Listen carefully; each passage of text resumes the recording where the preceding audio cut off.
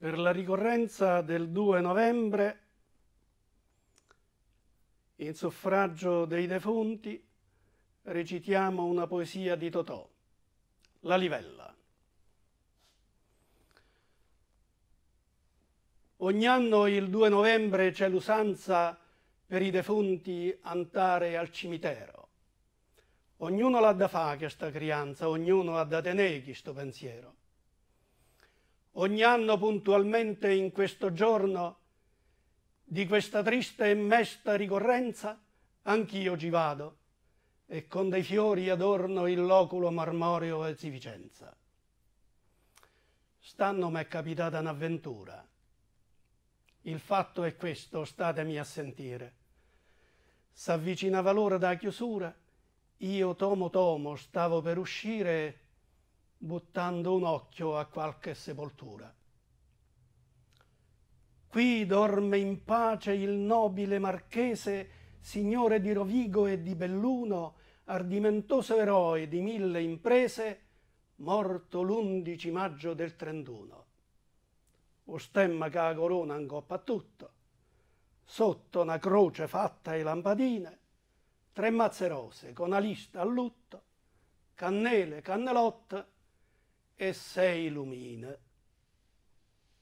Proprio attaccata a tomba e sto signore, ci stava nata tomba piccerella, abbandonata senza manco un fiore, per segno solamente una crocella.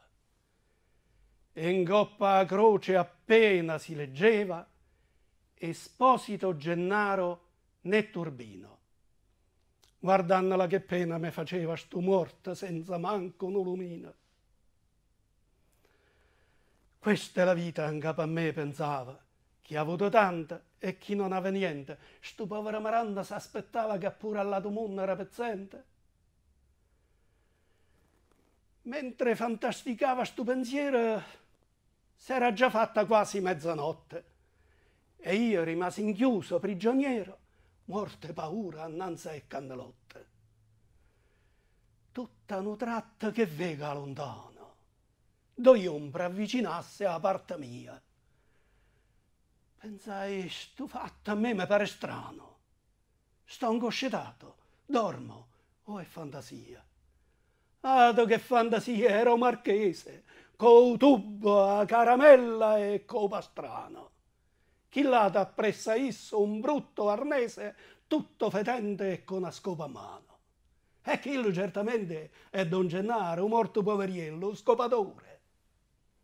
In da sto fatti non ci vede chiaro. Sono morte e si ritirano a quest'ora. Bah! Potevano stare da me quasi un palmo, quando un marchese si fermai e botta.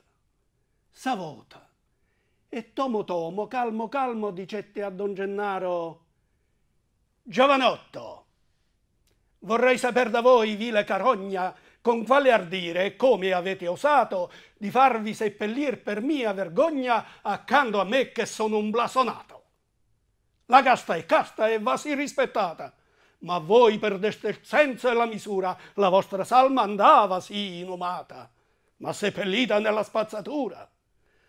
Ancora oltre sopportar non posso la vostra vicinanza puzzolente, fa quindi d'uopo che cerchiate un fosso tra i vostri pari, tra la vostra gente. Signor Marchese, non è colpa mia.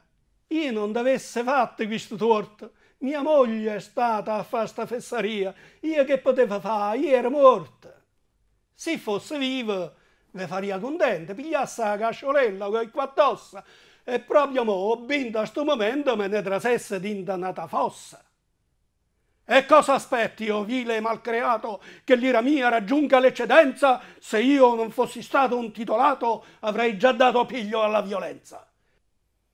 E fammi a breve, e piglia sta violenza, la verità, Marché, mi sono scocciate di sentire. E se perda pazienza, mi scorda casa morta e sono ammazzate. Ma chi ti crede d'essere, non Dio? Quadinto vo capire che siamo uguali, morto sei tu e morto so pure io. Ognuno come nato è tale e quale. Lurido porco, come ti permetti paragonarti a me che ebbi natali illustri, nobilissimi e perfetti da fare invidia a principi reali? Tu qua Natale, Pasqua e Epifania.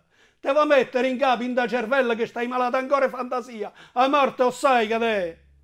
È una livella. Un re, un magistrato, un grand'uomo, trasenne sto cancello ha fatto punto che ha perso tutto, a vita e pure nome. Tu non ti fatto ancora questo conto? Perciò stamma a sentire, non fa ora stiva. Sopportami vicino, che ti importa? Sti pagliacciati fanno solo vive. Noi siamo seri, appartenimmo a morte.